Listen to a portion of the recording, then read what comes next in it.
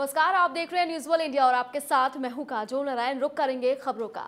Delhi disaster management authority की आज हुई बैठक में बड़े फैसले लिए गए।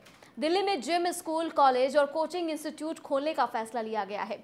डीडीएमए ने विशेषज्ञों की सलाह, कोरोना के लगातार घटते पॉजिटिविटी रेट और कोरोना के लगातार घटते केस के आधार पर यह फैसला लिया। डीडीएमए की वर्चुअल मीटिंग की अध्यक्षता उपराज्यपाल अनिल बैजल ने की। बैठक में सीएम अरविंद केजरीवाल और कई एक्सपर्ट्स मौजूद रहे। आपको बता दें कि इससे पहले व्यापारी संगठन कर्फ्यू समेत अन्य पाबंदियाँ हटाने और पेरेंट्स एसोसिएशन भी स्कूल खोलने की मांग कर चुके हैं। तो अब धीरे धीरे करके दिल्ली के स्कूल खोले जाएँगे। सात फरवरी से नौवीं से बारहवीं तक के, उसके बाद चौदह फरवरी से नर्सरी से आठवीं तक के स्कूल खोले जाएँगे। कॉलेजेस पूरी तरह से खुल जाएँगे। ऑनलाइन पढ़ाई कॉलेज के बच्चों की नहीं होगी। ऑफलाइन तरीके से उन्हें पढ़ाया जाएगा। लेकिन यहाँ पर यह भी शर्त रखी गई है कि जो भी टीचर्स बच्चों को पढ़ाएँगे स्कूल में, वो फुली वैक्सीनेटेड हों। इसके अलावा जिम और स्पा खोलने को लेकर कोरोना गाइडलाइंस को फॉलो करना होगा। अगर कोरोना गाइडलाइंस आप फॉलो नहीं करते तो फिर सख्त कार्रवाई की जाएगी। रेस्टोरेंट और बार जो हैं, वो अब 10 बजे की जगह 11 बजे तक खुल सकेंगे, लेकिन 50 परसेंट कैपेसिटी के साथ। कर्फ्यू का टाइम भी चेंज कर दिया गया है। पहले 10 बजे से कर्फ्यू शुरू होता था, अब 11 बजे से शुरू होगा। यानी कि जैसे जैसे पॉजिटिविटी रेट कम हो रहा है और जैसे जैसे कोरोना के केस दिल्ली में कम हो रहे हैं वैसे वैसे अब पाबंदियाँ कम की जा रही हैं।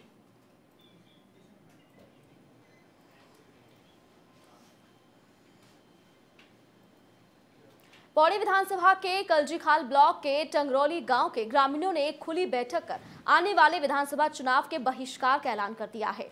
ग्रामीण गाँव के विकास से असंतुष्ट हैं। ग्रामीणों का कहना है कि देश आज़ादी का पिछहत्तरवा अमृत महोत्सव मना रहा है। लेकिन ग्रामीणों के बार बार शासन प्रशासन से गुहार लगाने के बावजूद भी सड़क और पानी की समस्या बरकरार है। ग्रामीणों का कहना है कि ग्रामीण आदि मानव की ज़िंदगी जीने को मजबूर है। महिलाओं को दो किलोमीटर तक की दूरी तय कर पानी लाना पड़ता है। नेता, पाँच साल में वोट डालने को लेकर तरह तरह के प्रलोभन और आश्वासन देते हैं, लेकिन ज़मीन पर कार्य नहीं दिखाई देते। लिहाजा ग्रामीणों ने चुनाव का पूर्ण रूप से बहिष्कार करने का फैसला लिया है।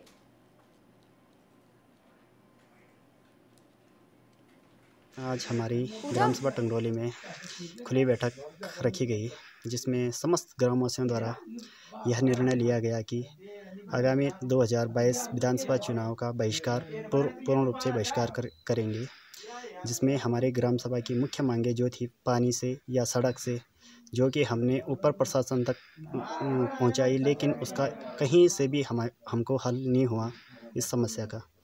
इसलिए पूरी ग्राम सभा हमारी इसका पूर्ण रूप से बहिष्कार करती है।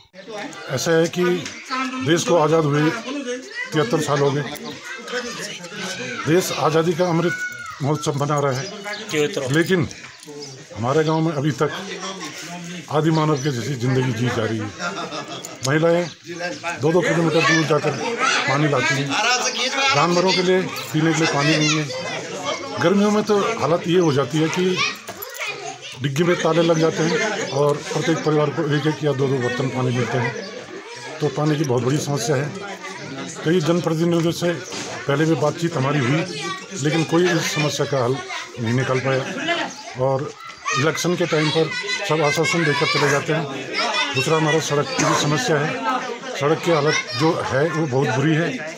और हमारा जो टनल की वाली सड़क से जो लिंक करवाने का था, वो भी आधार में लटका हुआ है। तो इसलिए इस बार समस्त ग्रामवासियों ने यह निर्णय लिया है कि विधानसभा के चुनाव का पूर्ण रूप से बहिष्कार किया जाए।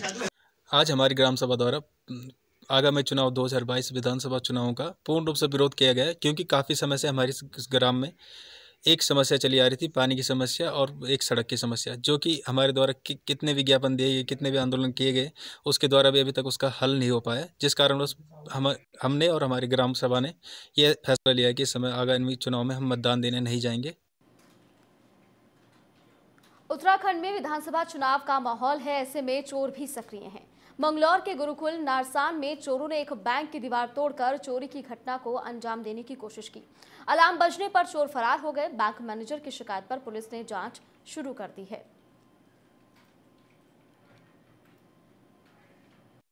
पीएनबी जो मैनेजर है, उनके द्वारा सूचना दी गई कि अज्ञात व्यक्तियों द्वारा उनके बैंक में घुसकर उनके एटीएम को काटकर पैसे ले जाने का प्रयास किया गया है। इसमें एटीएम क्षतिग्रस्त हुआ है। उसमें कोई वो कैश वगैरह नहीं ले जा पाए, इस संबंध में अभियोग पंजीकृत कर दिया गया है। उसमें जो है कार्रवाई की जा रही है। ये सुरक्षा गार्ड भी इस बैंक में नहीं है, इसके पीछे काफ़ी जो है एकांत स्थान है।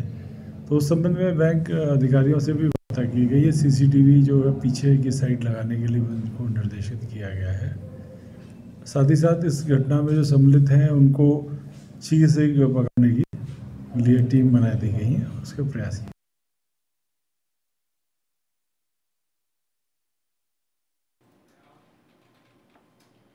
काशीपुर में कांग्रेस प्रत्याशी की लोकप्रियता में लगातार इजाफा देखने को मिल रहा है, जिसके चलते लोग कांग्रेस पार्टी की सदस्यता लेकर पार्टी के प्रचार में उतर रहे हैं। आज आम आदमी पार्टी और बहुजन समाज पार्टी के लगभग दो दर्जन लोगों ने कांग्रेस पार्टी की दोबारा सदस्यता ली। इस मौके पर पार्टी के महानगर अध्यक्ष संदीप सहगल ने कहा है कि हमारे दो दर्जन साथियों ने जो बीते दिनों आप और बसपा में चले गए थे, वो अब घर वापसी कर चुके हैं।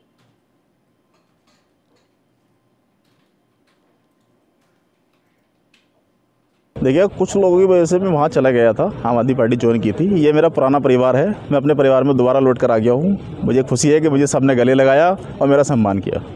किस तरीके से लग रहा है आप कैसा महसूस कर रहे हैं अपने घर वापसी करने के बाद? बहुत अच्छा महसूस कर रहा हूँ और मेरे साथ जो युवक है मेरे, जो 200-250 लोगों का जुट है मेरे साथ, वो मैं सब सपोर्ट करेंगे हम और भाई सबको हम लोग जो है एन सी बाबा को।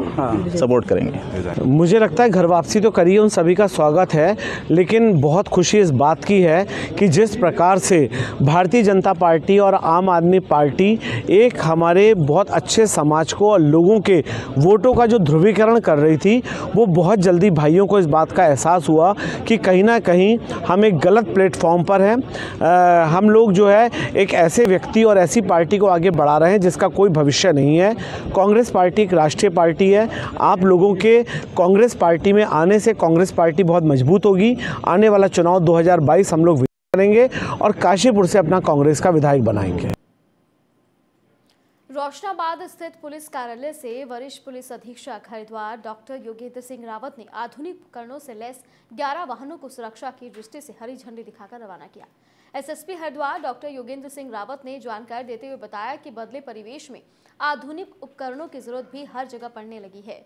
उसी कड़ी में 11 स्कॉर्पियो, जिनमें सात पेट्रोल यूनिट, तीन हाईवे यूनिट और एक ट्रैफ़िक कंट्रोल यूनिट के लिए वाहन रवाना किए गए हैं।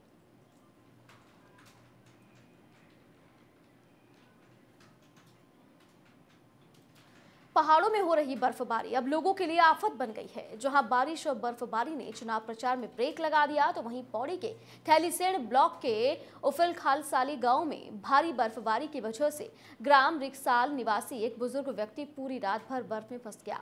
इसकी सूचना मिलने पर विधायक धन सिंह रावत और विधायक श्रीनगर प्रत्याशी बीजेपी विनोद बिष्ट के निर्देशन पर पुलिस के जवान वहाँ पहुँचे और बुज़ुर्ग व्यक्ति को भारी बर्फबारी के बीच सुरक्षित स्थान तक पहुँचाया। अब पुलिस का ये जज्बा सोशल मीडिया पर खूब वाहवाही बटोर रहा है। कल हमारी गाड़ी यहाँ पे बर्फ़ में चौगैर के गदेरे में फंस गई थी और हमें वहाँ पे रात हो गई थी तो इसलिए हम अपनी गाड़ी नहीं निकाल पाए वहाँ से। और हमारे साथ में एक बुज़ुर्ग आदमी भी थे, जिन्हें लेके हम घर आ रहे थे और मंत्री जी अपने क्षेत्र के दौरे पे आए हुए थे, उपरे खाल में रुके हुए थे। और जैसे ही सुबह मंत्री जी को पता चला, मंत्री जी ने अपने गनर विनोद बिष्ट जी को तुरंत वहाँ पे भेजा और हमारे साथ जो बुज़ुर्ग रावत जी रिक्साल के थे, उनको लेकर सुरक्षित स्थान पर उपरेखाल लेकर पहुँचे। रविवार से हो रही लगातार बारिश और बर्फबारी के कारण पौड़ी के पहाड़ी क्षेत्रों में बहुत से ग्रामीण मार्ग बंद हो गए हैं। जिनको खुलवाने के लिए जिलाधिकारी की तरफ़ से तत्काल आदेश जारी कर दिए गए। जिलाधिकारी डॉक्टर विजय कुमार जोगडंडे ने बताया कि त्रिपाली शैन बीरोखाल आदि मुख्य बाज़ार से जोड़ने वाले मार्गों का संपर्क मुख्य मार्ग से टूट गया है। उन्होंने बताया कि ज़्यादा बारिश और बर्फबारी के कारण ये मार्ग बाधित हो गए हैं। जिनको खुलवाने के लिए लगातार जेसीबी मशीनों का सहारा लिया जा रहा है। आ, हमारे जनपद में कल और आज जो है काफ़ी भारी मात्रा में बर्फबारी हुआ है। ऐसा दो तीन रोड जो हमारे हैं, प्रमुखता से बाधित हुआ है। त्रिपाली सेन की एक रोड है बीरोखाल में जो नेशनल हाईवे है, वो बाधित हुआ है। सरायखेत मरचुला रोड जो है, वो बाधित हुआ है। और थलीसैन में चौरीखाल क्षेत्र में काफ़ी बर्फबारी से रोड बाधित हुआ है। तो वहाँ पर जैसे भी मशीनें वर्तमान में काम कर रही है और लगभग एक से दो घंटा का समय लगने की आशंका है, उस उस उपरांत जो है रोड खुलने की संभावना को उन्होंने कहा है कि वो खुल जाएगी। इसके अलावा कोर्ट द्वार में आमसोड़ का एक जगह पे लैंडस्लाइड हुआ था पूर्व से तो वहाँ पर लगातार रोड बाधित होने की समस्या को सामना करना पड़ रहा है जनता को। तो वहाँ पर भी दो मशीनें लगातार कार्य कर रही है। अगले आधे घंटे के अंदर वो खुलने की संभावना है। अन्य सभी क्षेत्रों में हल्की से मध्यम बारिश हो रही है और सभी जिलों में आपदा कंट्रोल रूम स्थापित कर उसको एक्टिवेट किया गया है।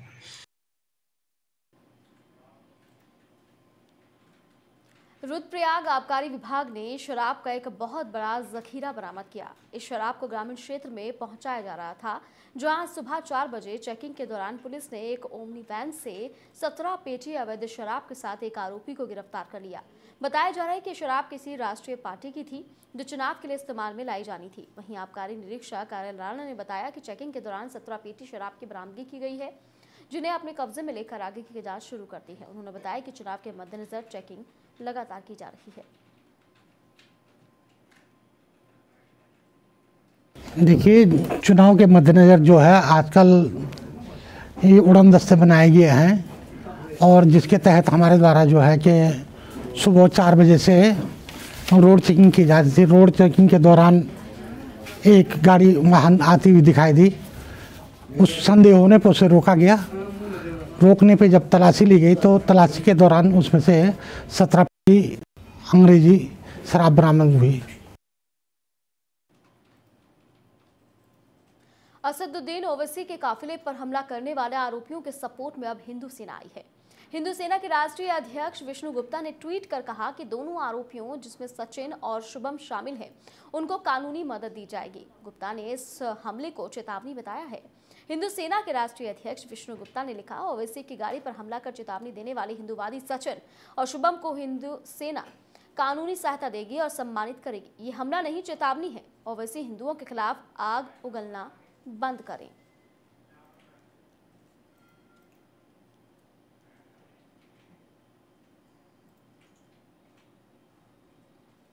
वहीं पंजाब में विधानसभा चुनाव से पहले सीएम चरणजीत सिंह चन्नी के भतीजे भूपेंद्र सिंह हनी को प्रवर्तन निदेशालय ने गिरफ़्तार कर लिया। अवैध बालू खनन केस से जुड़ी मनी लॉन्ड्रिंग के मामले में गिरफ्तारी की गई है। गिरफ्तारी देर रात की गई और उनसे करीब आठ घंटे पूछताछ भी की गई। जालंधर से गिरफ्तारी हुई है। चन्नी के भतीजे भूपेंद्र सिंह हनी के घर पर करीब दो हफ़्ते पहले ईडी ने छापेमारी भी की थी। हनी के दो सहयोगी के ठिकानों पर भी छापे पड़े थे।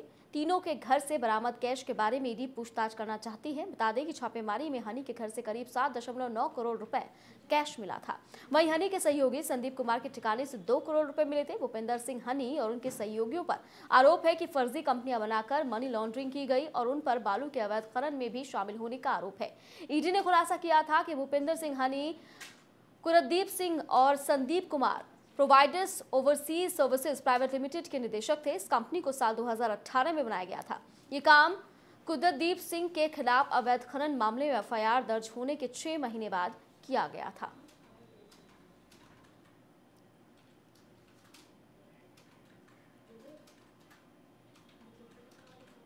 ऋषिकेश विधानसभा सीट पर कांग्रेस प्रत्याशी की जीत सुनिश्चित करने के लिए लगातार कांग्रेस प्रयास कर रही है। कांग्रेस ने नगर निगम के चार निर्दलीय पार्षदों और दो बीजेपी के पूर्व सभासदों को कांग्रेस की सदस्यता दिलवाई है। पार्षदों और सभासदों के कांग्रेस में आने से कांग्रेस की मजबूती तय है। वहीं पार्षदों का दावा है कि वो जी जान से मेहनत कर कांग्रेस प्रत्याशी को जीत दिलाने के लिए काम करेंगे। बता दें कि कांग्रेस भवन में पार्षदों और पूर्व सभासद को कांग्रेस की सदस्यता दिलाने के लिए कार्यक्रम का आयोजन किया गया, जिसमें कांग्रेस के वरिष्ठ नेता शूरवीर सिंह, सजवान और खुद कांग्रेस प्रत्याशी जयंत रमोला पहुँचे। कांग्रेस की सदस्यता दिलाने के बाद मौके पर समर्थकों ने ज़ोर शोर से कांग्रेस जिंदाबाद के नारे लगाए।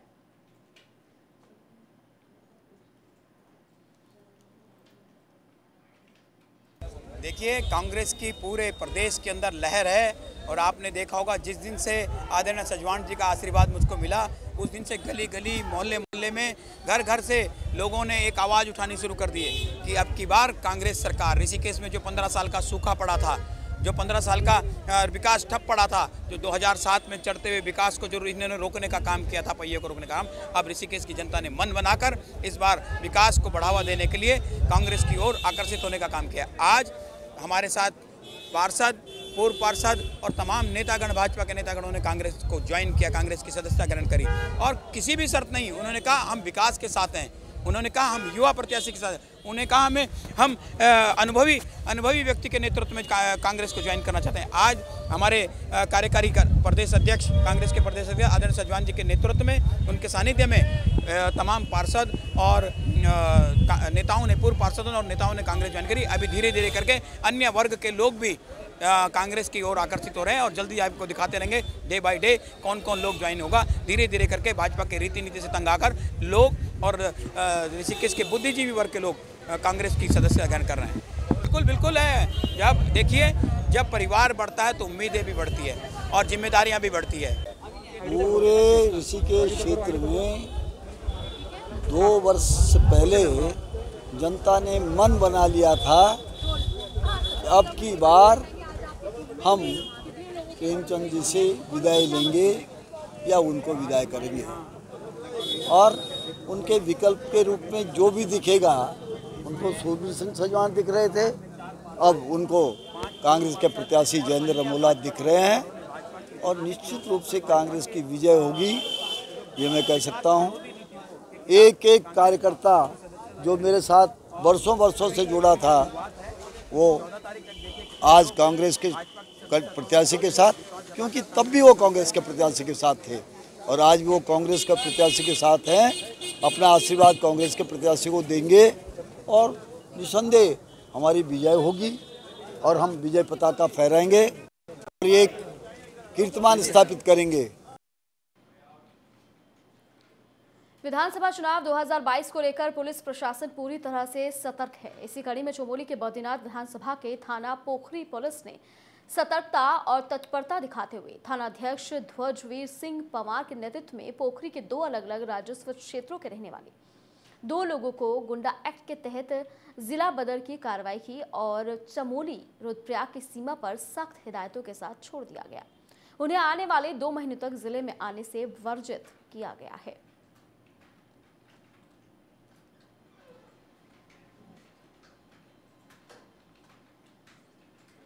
पंजाब कांग्रेस प्रमुख नवजोत सिंह सिद्धू ने कहा है कि अगर नया पंजाब बनाना है तो ये मुख्यमंत्री के हाथ में है। इस बार समर्थकों को मुख्यमंत्री चुनना है। शीर्ष पर बैठे लोग एक कमज़ोर मुख्यमंत्री चाहते हैं जो उनके इशारों पर काम कर सके। सिद्धू ने समर्थकों से पूछा कि क्या आप ऐसा सीएम चाहते हैं? दरअसल नवजोत सिंह सिद्धू का ये पार्टी आलाकमान पर हमला है। वो अपने बयान और समर्थकों के ज़रिए सीएम फेस के लिए दबाव बनाते दिख रहे हैं और राज्य में सीएम फेस के ऐलान से पहले ही अपने तेवर दिखा रहे हैं। ये पहला मौका नहीं है जब सिद्धू ने अपना तेवर दिखाया है और आला कमान पर दबाव बनाने की कोशिश की है। इससे पहले सिद्धू ने ऐसी राजनीति करके कैप्टन अमरिंदर सिंह को सीएम पद से हटवा दिया था। फिर वो पंजाब कांग्रेस के अध्यक्ष भी बने थे। इसके बाद नई सरकार में कई नियुक्तियों में भी सिद्धू का हस्तक्षेप माना जाता रहा है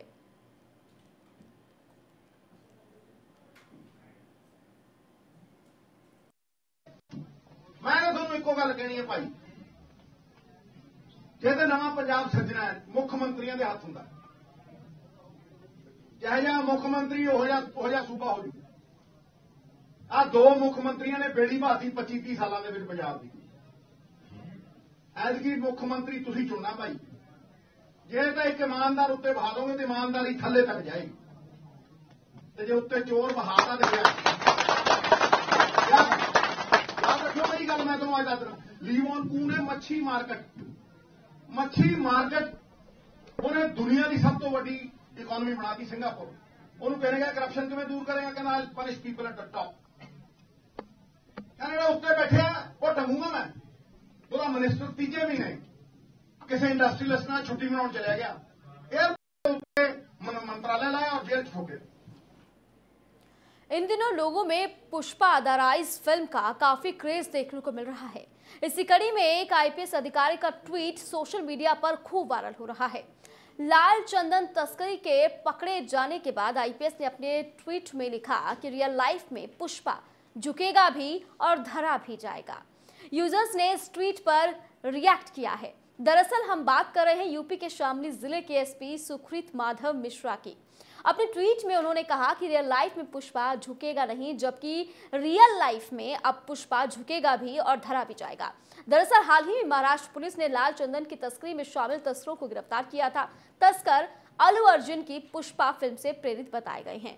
तस्करों ने अपने ट्रक में लाल चंदन तो रखा ही था, इसके अलावा कई फल के डिब्बे भी ऊपर रख दिए थे। ट्रक के ऊपर एक कोरोना आवश्यक उत्पादों का स्टिकर भी लगा दिया गया। यानी पुलिस की आँखों में धूल झोंकने की पूरी तैयारी कर ली थी। लेकिन पुलिस को पहले ही इनपुट मिल गया था। ऐसे में नाकाबंदी कर ट्रक को जब्त कर लिया गया और एक आरोपी को गिरफ़्तार किया गया है।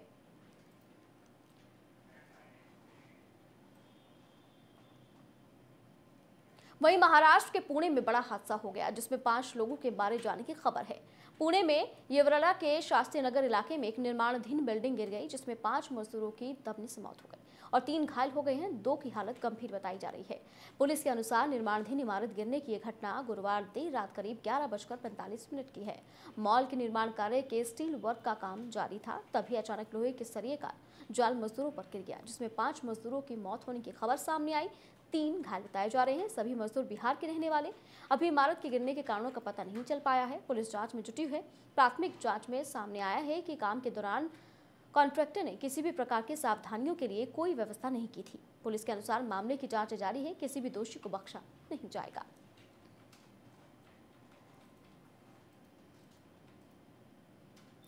छत्तीसगढ़ की राजधानी रायपुर पहुँचे राहुल गांधी ने साइंस कॉलेज मैदान में छत्तीसगढ़ शासन की महत्वाकांक्षी राजीव गांधी ग्रामीण भूमिहीन कृषि मजदूर न्याय योजना और राजीव युवा मितान क्लब योजना का शुभारंभ किया। साथ ही महात्मा गांधी की स्मृतियों को संजोने के लिए नवा रायपुर में स्थापित किए जाने वाले सेवाग्राम और छत्तीसगढ़ अमर जवान ज्योति की आधारशिला भी रखी। राहुल गांधी ने अपने संबोधन में पीएम मोदी और बीजेपी पर तीखा हमला करते हुए कहा कि बीजेपी अमीरी और गरीबी में बांटकर देश को खतरे की ओर ले जा रही है। उन्होंने बीजेपी पर आरोप लगाते हुए कहा कि सौ अमीरों के पास देश की 40 प्रतिशत आबादी से ज़्यादा पैसा है। अपने संबोधन में राहुल गांधी ने मन से मुख्यमंत्री भूपेश से कहा कि श्रमिकों को मिलने वाले छह हज़ार रुपए कम हैं। इनको भूपेश जी बढ़ा दीजिए। जिस पर मुख्यमंत्री भूपेश ने बढ़ाने की बात कही। राहुल गांधी ने भूपेश सरकार के कार्य को सहारते हुए कहा कि छत्तीसगढ़ का स्वाद उत्पाद विदेशों तक पहुंचाइए। इसके पहले राहुल गांधी बस से स्वामी विवेकानंद एयरपोर्ट से मंत्रिमंडल के साथ चर्चा करते हुए कार्यस्थल तक पहुँचे थे और राहुल गांधी ने बस्तर में माँ दंतेश्वरी की पूजा अर्चना कर लोगों की खुशहाली की कामना की।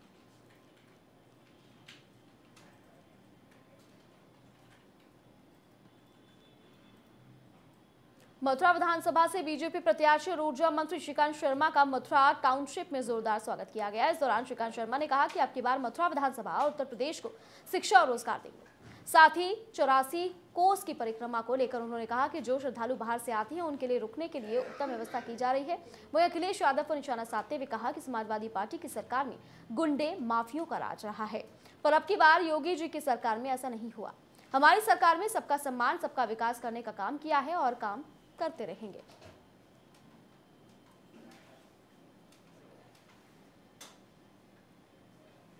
और इसी के साथ फ़िलहाल खबरों में इतना ही। आप बने रहिए न्यूज़ वाल इंडिया के साथ।